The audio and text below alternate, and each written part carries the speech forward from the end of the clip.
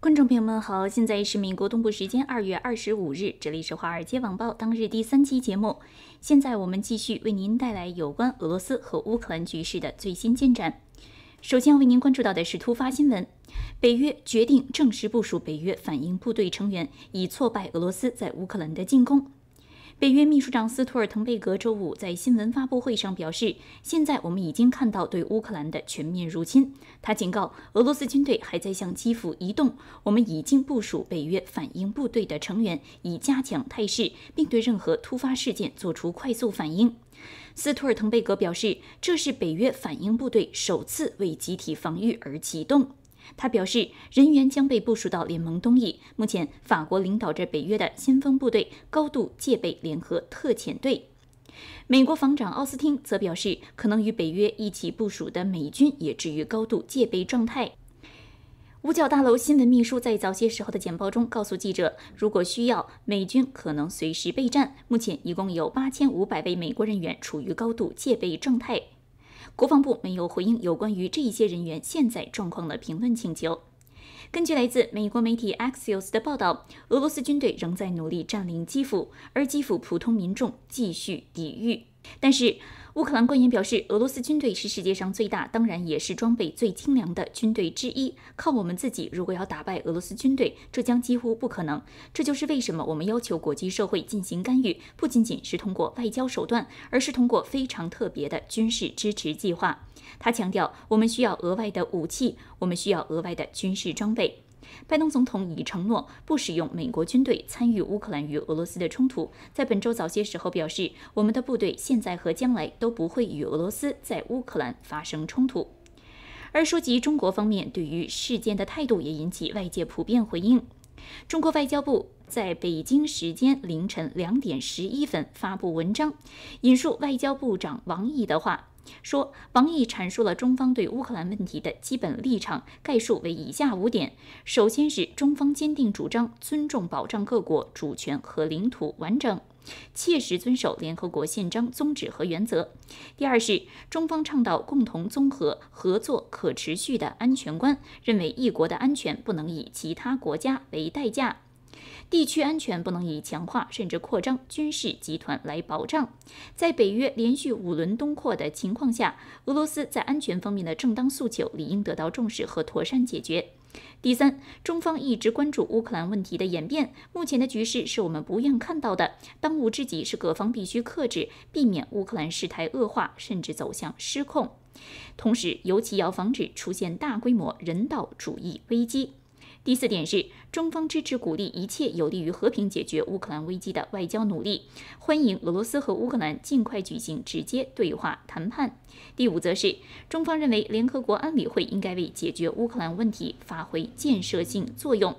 根据外交部通稿，王毅说：“中国作为安全理事会常任理事国和负责任的大国，始终忠实履行自身的国际义务。在和平和安全问题上，中国是记录最好的大国。我们从未侵略他国，不搞代理人战争，不寻求势力范围，不参与军事集团对抗，坚定走和平发展道路。”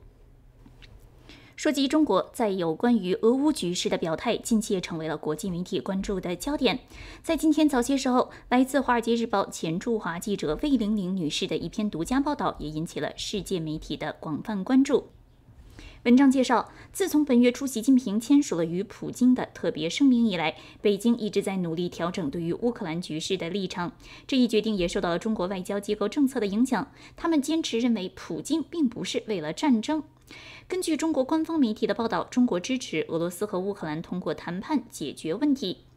几周来，中国的外交政策机构对于美国以及欧洲盟友关于俄罗斯即将入侵的源源不断的警告不予理会，反而指责华盛顿扩大了俄罗斯的威胁。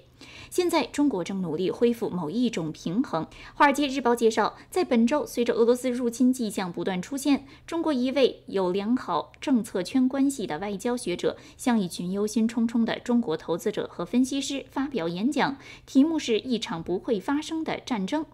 这是上海复旦大学国际关系学教授，也是为中国政府提供咨询的沈毅，在周二在一家证券公司举行电话会议上所说的。他说：“我们认为俄罗斯单方面对乌克兰宣战的可能性很小，而不到四十八小时，普京就对乌克兰发动了全面攻击。”《华尔街日报》引述了解北京内部情况的人说，习近平在二月四日北京冬奥开幕会当天与俄罗斯签署深层次合作关系时，对于入侵的风险还持续淡化，而这影响了他的考虑。根据接近北京外交政策机构的人士透露，在普京访问北京的前几天，给中国最高领导层的政策建议集中在这一伙伴关系应该如何应对中国与美国之间的压力，但是淡化甚至直接否定了俄罗斯入侵乌克兰的可能性。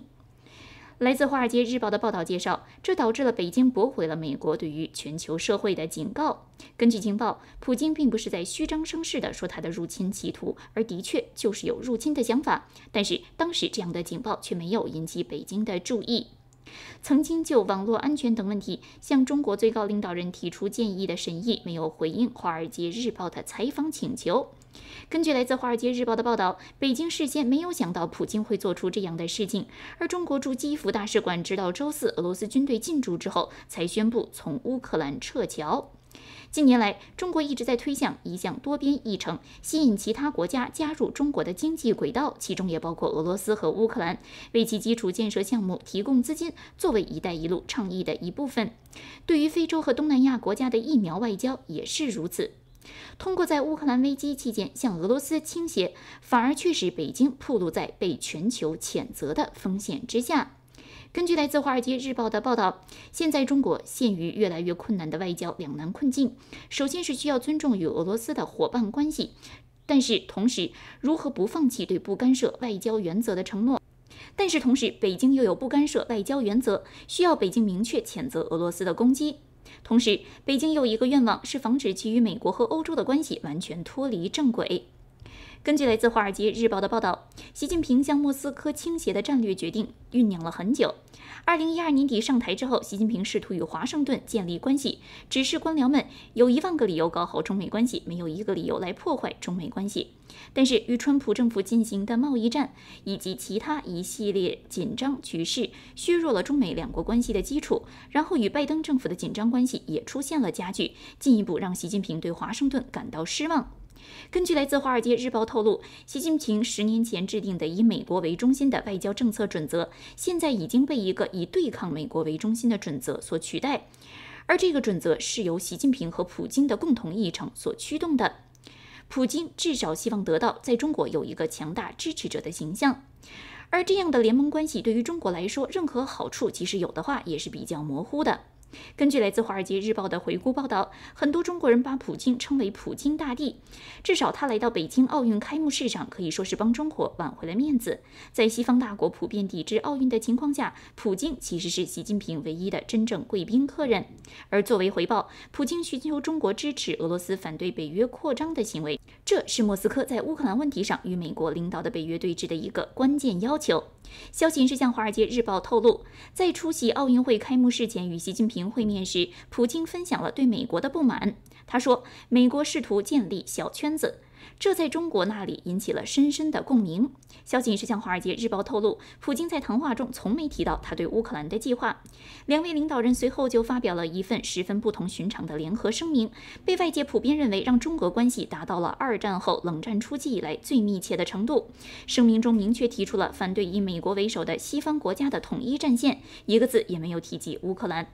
普京离开后不久，中国最高领导人闭门不出，连续几天试图酝酿对乌克兰危机如何回应。《华尔街日报》写道：“最近，北京的反应一直在更明确地反对入侵和为莫斯科的安全关切提供道义支持之间摇摆不定，同时继续指责美国以及其盟友夸大了来自俄罗斯的威胁。”消息人士向《华尔街日报》透露，就目前而言，战略是只说不做。北京已经采取了一些温和的措施来帮助俄罗斯，比如取消对俄罗斯小麦进口的限制，而这一些限制已经实施了几十年。之后，再要为您带来的是过去几个小时的其他突发要闻。首先来说到俄罗斯方面的消息，俄罗斯外交部发言人扎哈罗娃警告表示，如果芬兰和瑞典试图加入北约，将对他们采取军事和政治后果。扎哈罗娃在新闻发布会的片段中说：“瑞典和芬兰不应把自己的安全建立在损害其他国家安全的基础之上。如果他们加入北约，会产生严重后果，可能有军事和政治后果。”俄罗斯攻击乌克兰的一个借口是，北约必须要给予保证，不允许乌克兰加入政府间军事联盟，而乌克兰一直坚持要加入。而同时，根据欧洲委员会章程，欧委会今天正式决定，由于俄罗斯对乌克兰的武装袭击，要立刻暂停俄罗斯联邦在部长委员会和议会中的代表权。根据欧委会声明，今天通过的决定意味着俄罗斯联邦仍然是欧委会成员和欧委会相关公约的缔约国，包括欧洲人权公约。为俄罗斯联邦选举的欧洲人权法院法官也仍然是该法院的成员。暂停并不是最终措施，而是临时措施。俄罗斯与欧委会之间仍有沟通渠道。此前，《华尔街网报》向您介绍，乌克兰和俄罗斯方面似乎产生了和谈的意愿。但是，普京的发言人佩斯科夫随即表示，乌克兰明确拒绝了明斯克会议，希望在华沙举行会议。乌克兰对于俄罗斯的谈判提议没有做出进一步的回应。此前，《华尔街网报》向您介绍，中国国有银行已经开始限制对俄罗斯大宗商品融资的有关消息。根据来自彭博社的报道，现在市场已普遍受到这样消息的提振。但是，中国褐皮书的分析团队指出，这可能是中国的银行在未被告知其他要求的情况下，自动默认遵守美国制裁，并不能够说明北京态度的明确改变。此外，欧盟正式宣布把普京和拉夫罗夫列入制裁名单。博雷尔在通报会议上表示，此前欧盟制裁的世界元首级领导人只有阿萨德和卢卡申科，现在加上了普京。泽连斯基和与拜登总统在美国东部时间周五午间进行了通话。泽连斯基随后在个人推特上面宣布，讨论了加强制裁、防务援助以及建立反战联盟的问题。乌克兰紧张局势仍然继续。根据 Maxar 卫星图像显示，在白俄罗斯南部有几支大规模的地面部队和运输直升机以及支援设备。目前并不清楚这一些设备的具体用途是什么。约翰逊表示，英国也将跟随北约，对于普京和拉夫罗夫实施进一步的制裁。北约秘书长斯托尔滕贝格此前表示，乌克兰已经给俄罗斯军队造成了重大损失。挪威防长表示，应考虑在除立陶宛以东的北约东侧部署更多军队。此前，有俄罗斯媒体传播消息，指泽连斯基已经放弃基辅，各自逃出国。而泽连斯基在个人 Twitter 上面发布了他与团队的一个新视频。他说：“我们仍然在这里，我们仍然留在基辅，我们还在保卫乌克兰。” Всім добрий вечір. Лідер фракції тут, голова офісу президента тут.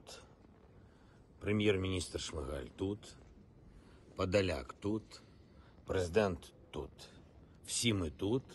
наші військові тут, громадяни суспільства тут, всі ми тут. Захищаємо нашу незалежність, нашу державу. І так буде й далі.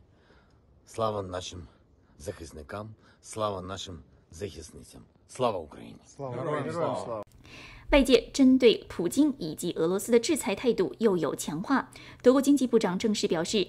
对于把俄罗斯从 SWIFT 系统中剔除持开放态度，而意大利方面也表达了类似的开放态度。这代表着两国此前态度的转向。俄罗斯方面仍然加强对于乌克兰的宣传攻势。在一次电视讲话中，普京声称呼吁乌克兰军队拿起武器推翻基辅的领导人。又强调基辅的领导人是恐怖分子、吸毒者和纳粹分子，但是没有提及具体明确的证据。